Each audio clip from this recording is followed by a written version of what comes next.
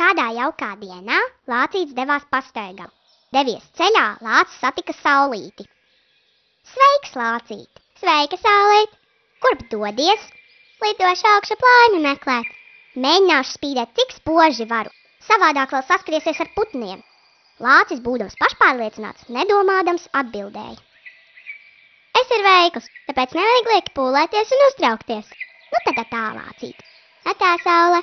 Un tā Lācis turpināja savu piedzīvojumu. Lācis uzpūta balonu un lidoja augšup.